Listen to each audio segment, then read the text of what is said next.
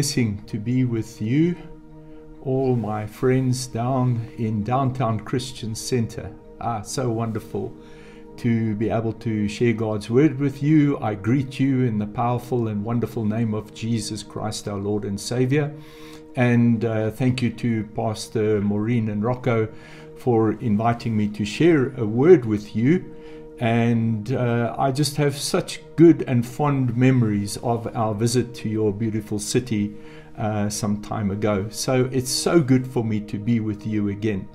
So I want to share a word with you about when fear and courage clash.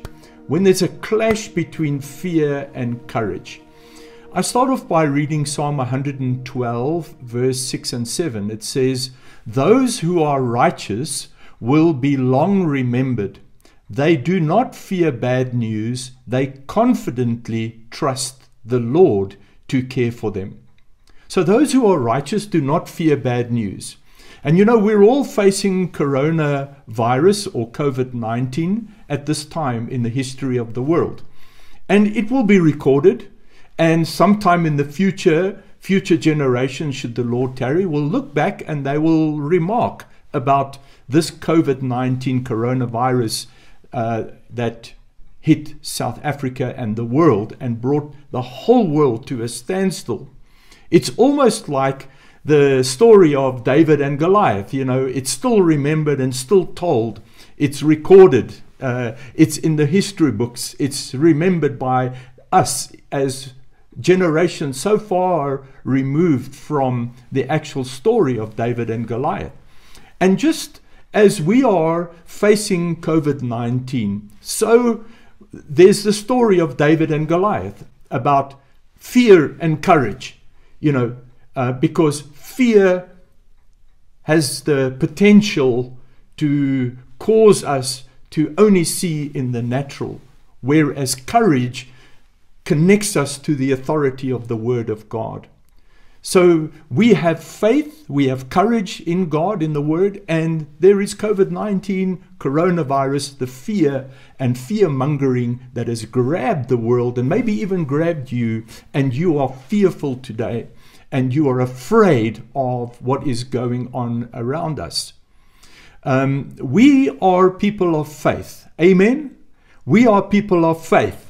And you are a person of faith. And we are going to trust God today for victory in Jesus' mighty name.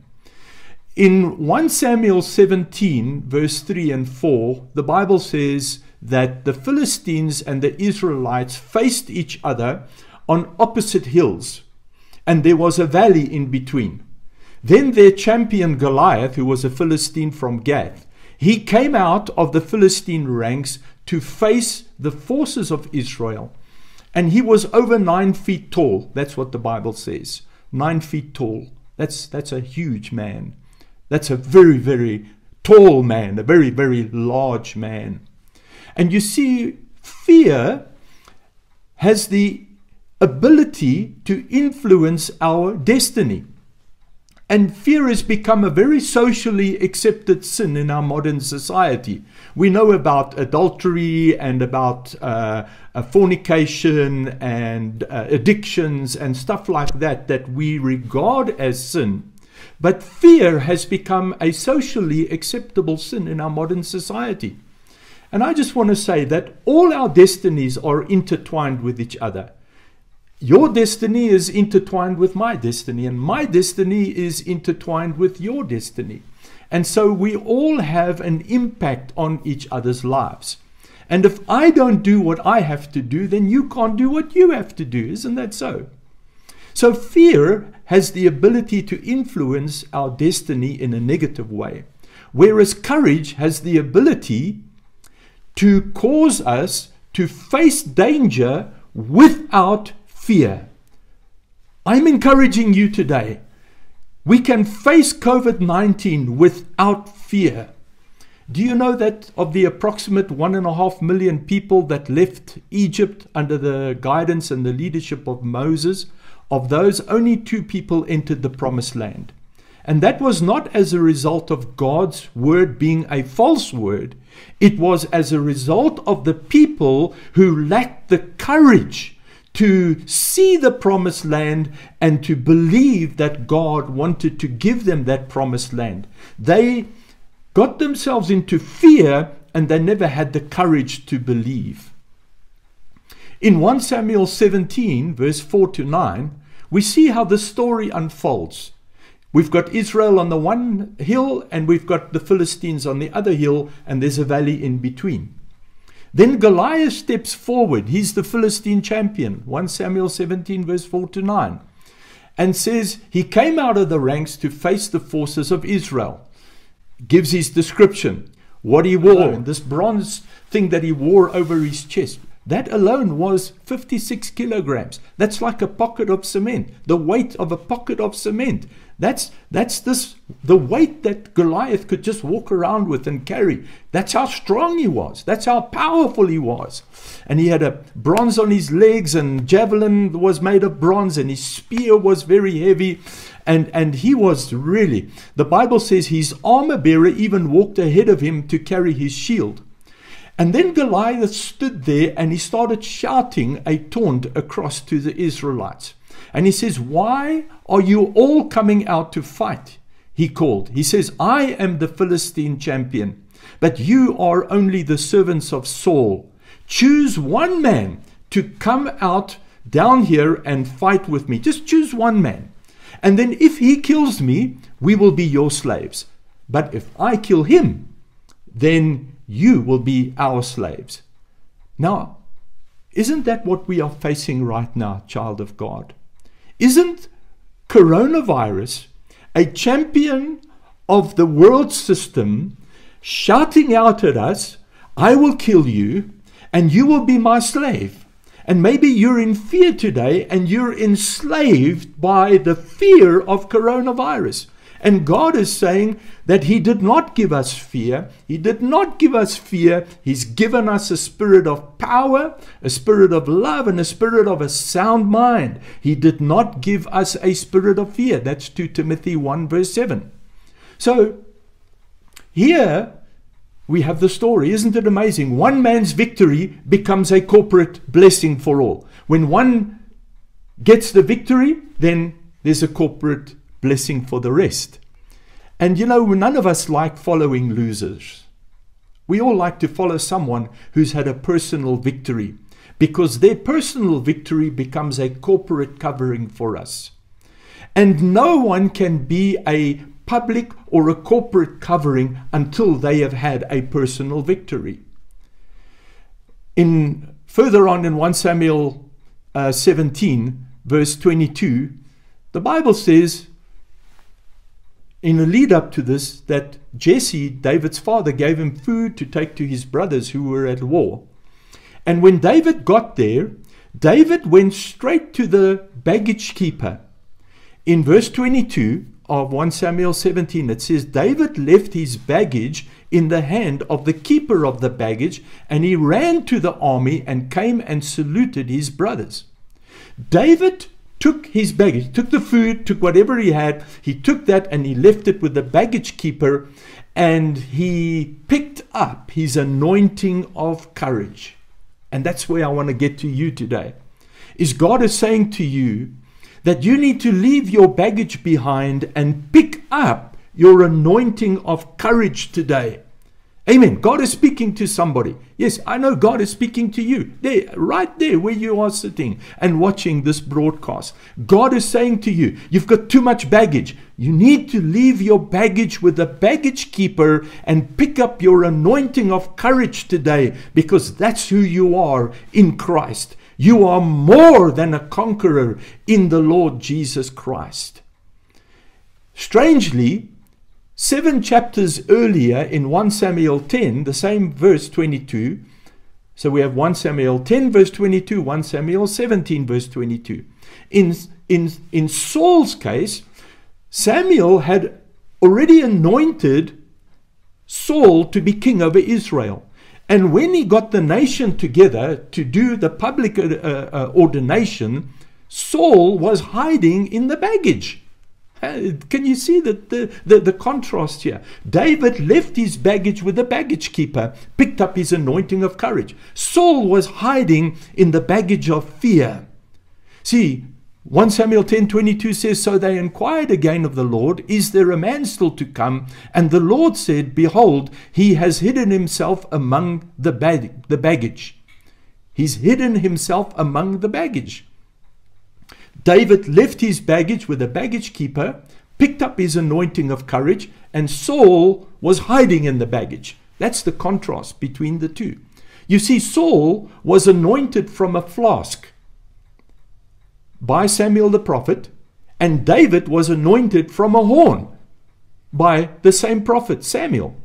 So one had a flask anointing and the other one had a horn anointing. And what anointing do you have? You see, the difference between the flask and the horn is that a horn is from a dead animal. And the anointing flowed out of the horn onto David. And we need to get to that point right now, today. I'm urging you, I'm urging you by the power of the Word of God. We need to get to that place where we die to ourselves so that the anointing of God can flow from us.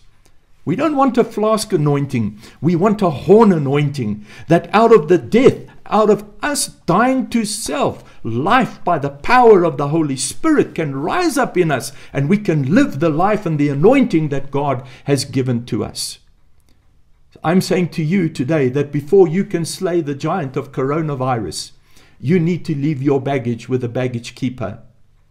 You might be wanting to slay a giant right now. I don't know what your giant is that you're you're you're dragging along. You know they've made it so easy today. If you've traveled before, you know suitcases today have wheels on. That's to make it easy to carry your baggage along. And you know what? Many many people that I see they carry all their troubles in their baggage on wheels. So it's easy to drag along instead of leaving their baggage with a baggage keeper. So, what is the giant you're facing today? What is the giant you are dragging along? Is it resentment? Is it regret? Is it disillusionment? Is it failure? Is it sickness? Is it is it torment? Is it disease? Is it COVID-19? I don't know, but I'm here to tell you today. You you you know, get the wheels off and leave your baggage with a baggage keeper. How are you going to slay a giant if you're dragging your baggage along all the time with you? And many Christians struggle to get victory because they are so connected to their baggage. In other words, I'm referring the baggage is their past. You talk to Christians, they will always tell you about this that happened to them and that that happened to them, and they've never been said, you know, they've still got this issue of their past. I tell you what, the devil is not worried about your past, he is terrified of your future. Amen. But you worry about your past, and God is saying, leave your baggage with a baggage keeper.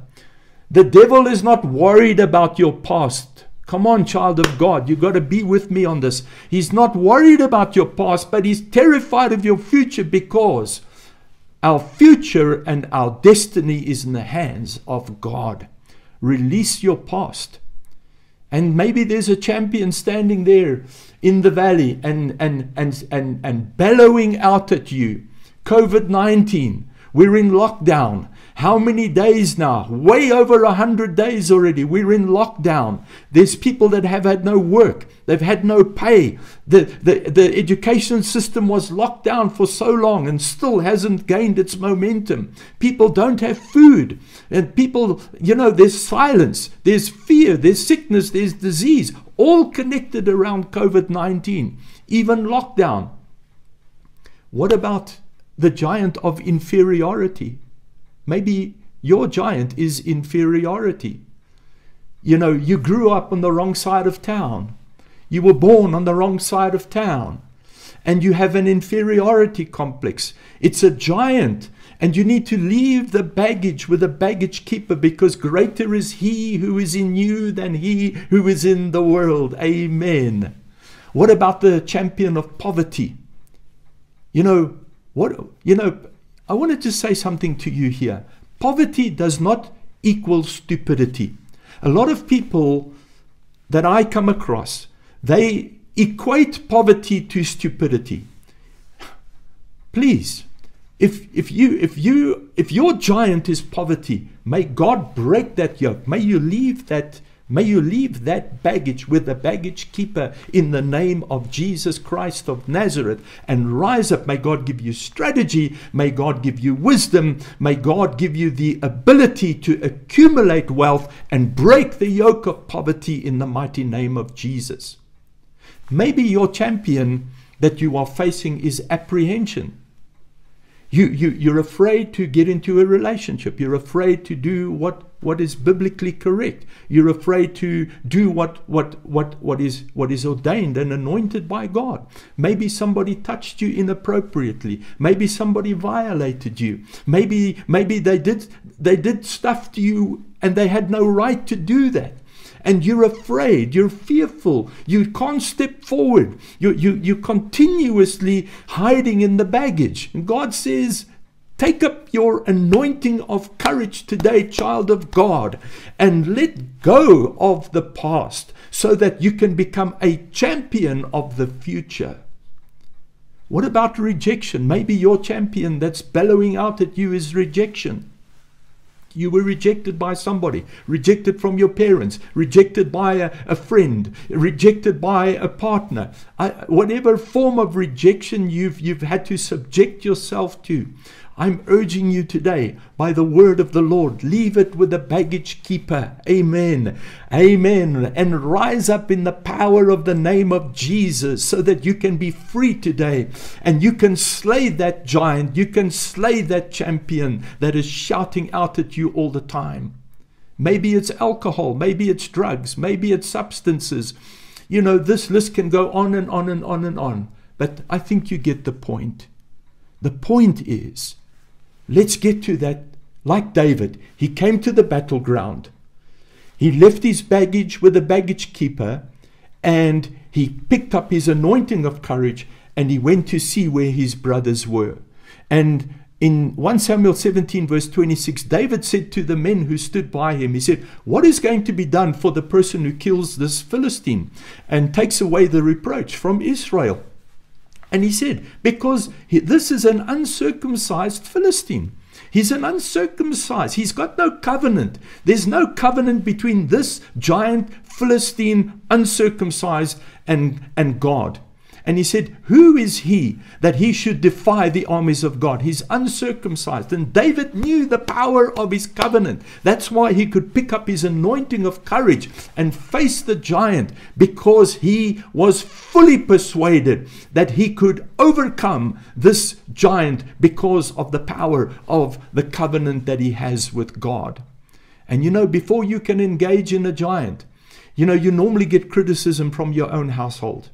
You want to step out and take a giant, but your family say, No, you can't. Who are you? Like David's brothers. They said, What's wrong with you, little boy? Why don't you go home? Why don't you go and look after the little sheep that you you you you you you know you're supposed to be looking after?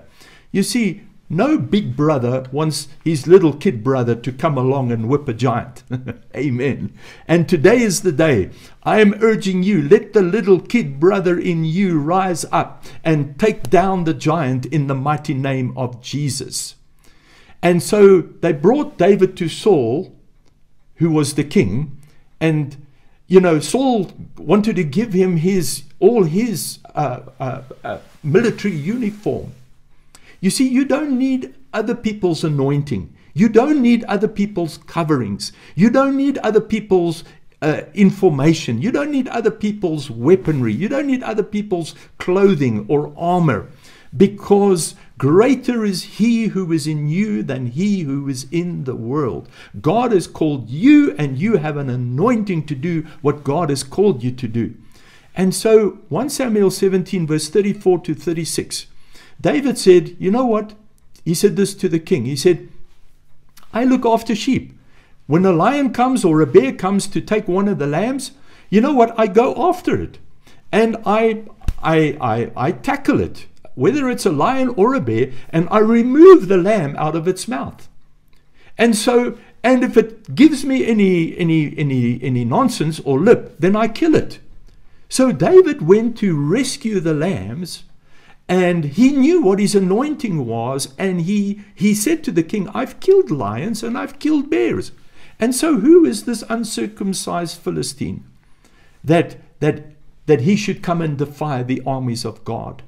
You see before you can have a public victory you have to have a private victory. David had private victories. He knew i've killed a lion i've killed i've killed lions and i've killed bears. I've saved lambs and this is an uncircumcised Philistine. I know my confidence. I know my courage. I know my covenant with God. David had this thing for sure in his heart and in his mind is that he knew the power of his covenant with God. You know, we live in we we we, we live in times where our communities are ravaged by stuff that happens. Our communities are ravaged by stuff that happens. I'm urging you today, rise up in the name of Jesus. Rise up in the name of Jesus. You see, it seems to me you get two types of people. You get people who do things, and then you get people who criticize those who do things. I don't know which category you fall into. Do you do things or do you criticize people who do things?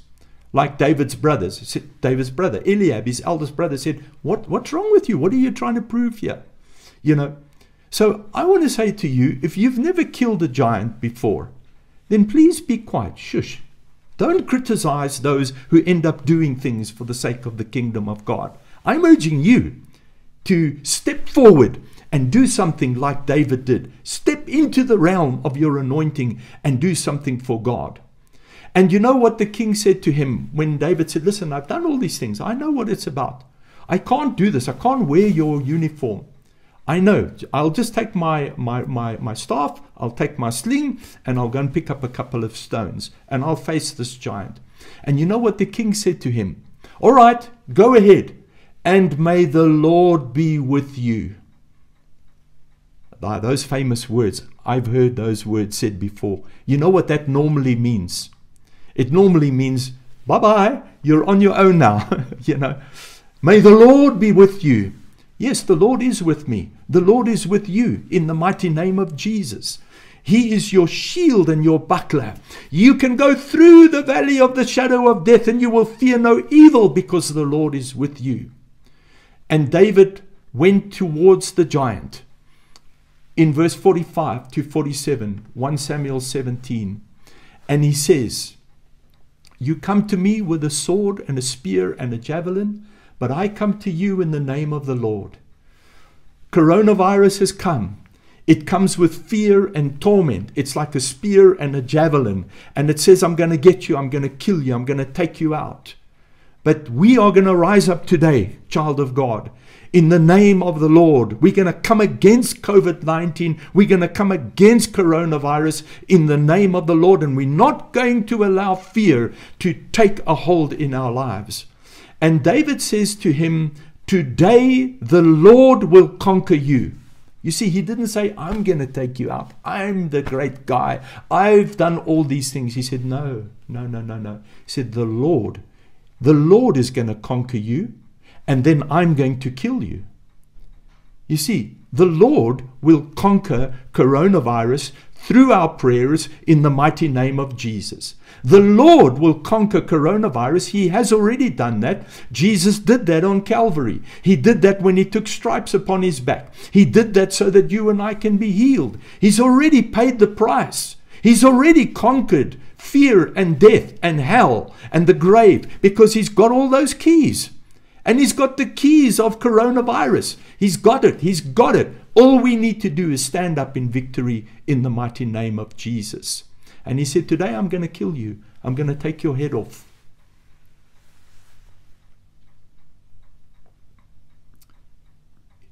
David knew his covenant with God. We need to know and understand our covenant with God through the blood of our Lord and Savior Jesus Christ, His precious blood that was shed for us. You see, God never measures our performance. Not how long you prayed, not how many hours you did this, not how long you did that, not how great you are. No, God connects Himself to the beloved of God that believe in the covenant of God. So God connects Himself to a believer who believes in the covenant. You know, it doesn't matter. Yes, prayer is important, reading the Bible is important, fellowship is important. These things are all critical. But your God doesn't measure your performance before he reacts to what you're asking him. God connects to his covenant. That's where he connects. And the Bible says here, 1 Samuel 17, verse 48, Goliath came forward against David. And the Bible says David ran quickly to meet him. He ran out quickly to meet him. See, when the anointing comes upon you, you need to act immediately. Because if David stopped to think about what he was doing, maybe he would have changed his mind. See, procrastination is the assassination of your revelation. I will repeat that. Procrastination is the assassination of your revelation. David did not have a match against Goliath. Goliath was nine feet tall. David was a teenager. In relation to size, there was no match there. David did not worry about whether he could compete against Goliath or try to copy him. He connected himself to his covenant with God. Amen. David knew who he was because of the power of the covenant that he had with God. And you and I need to know who we are because of our covenant that we have with God through our beloved Lord Jesus Christ. You don't have to match up to the enemy. You don't have to copy what the enemy does. You just need to know who you are and the power of the covenant that you have with Almighty God. So I close by saying, Courage refuses to give up. Long after everybody's gone home, courage still holds on. It does not give up. Courage utters a clear call to do what is right. Remember, I said we are talking about when fear and courage have a clash. Fear has to surrender to the courage of the believer who believes in the faith of the Word of God. When other voices overpower courage, it makes one more determined to stand up. Fear says, dim the lights. It's all over. It's all finished. Courage says, no, no, no, no, no, no. Let's rise and shine here. Do not let successful people's appearance intimidate you. You see, we, we estimate other people higher than ourselves because they seem to be more successful than us or more influential than us. And then that becomes an intimidation. It's like another giant you have to face. Don't let other people who are successful, in your estimation, let their appearance intimidate you. You need to rise. David didn't look at the size, he didn't look at the armor, he didn't look at anything. David knew the power of his covenant. He knew who he was. Don't let COVID 19 intimidate you. Don't let fear intimidate you. And finally, let us learn to celebrate other people's successes. Amen. And may God bless you. May God keep you. May God let His face shine upon you in this dark time of COVID 19. And I'm just going to pray with you now in Jesus' name. Father, I pray in the name of Jesus that you give people courage today in the midst of fear, in the midst of coronavirus, in the midst of COVID 19. Many people are afraid and they are fearful.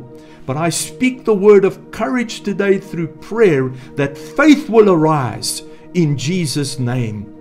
Because you did not give us a spirit of fear, Lord, but you have given us a spirit of power, a spirit of love, and a spirit of a sound mind. And we garrison our thoughts and we bring our thoughts captive to the obedience of the knowledge of the Word of God, so that our thoughts will be surrendered to the power of the Word in Jesus' name. Amen and amen. And God bless you abundantly. Thank you for the opportunity and the privilege to be with you. I bless you in the name of Jesus. Amen. Awesome, awesome, awesome.